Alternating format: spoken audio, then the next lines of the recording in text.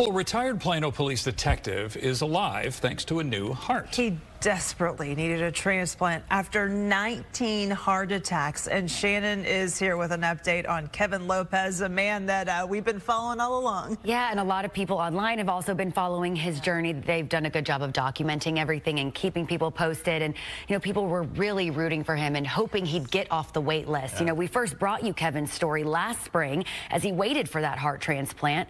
Now, with a new heart, he's ready to move forward. But first, he had the chance to say goodbye to his old one.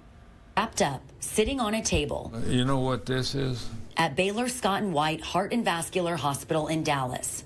Um, I believe it's my heart, isn't it? Yeah. You ready to look at it? Yes, sir. It's the heart that endured 19 heart attacks and forced Kevin Lopez into early retirement from the Plano Police Department. That thing helped me through so many things. It, it's amazing that it made it this long. A defibrillator kept him alive, sending a shock every time he went into cardiac arrest. It's been a long road, very long road.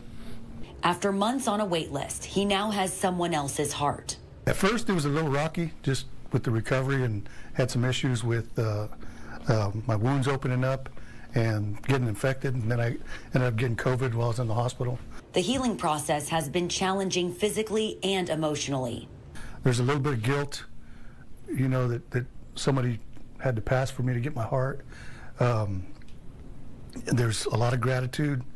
There's, you know, just so many questions. You know, it's it's a surreal feeling. Holding his heart in his hands is part of that healing.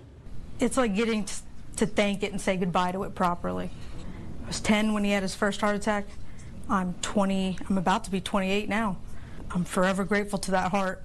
The transplant gives him more time with his children, his daughter Nicole and his son, 13 year old Lucas. That's something that I didn't think I was going to have, and, and I wasn't really planning on it because of the way things were going.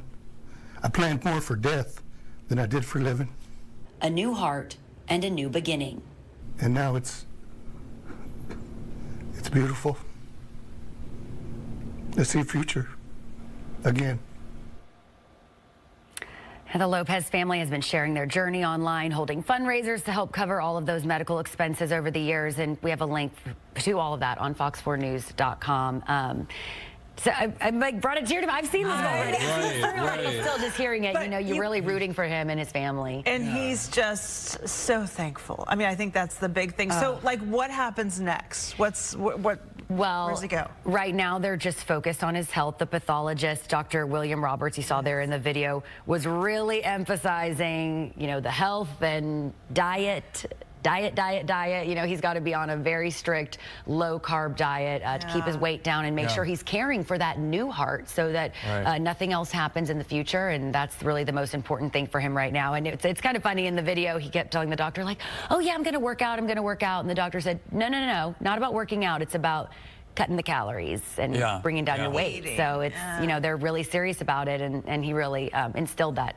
in him in that meeting. Oh, well, second chance. Yep. Here you go.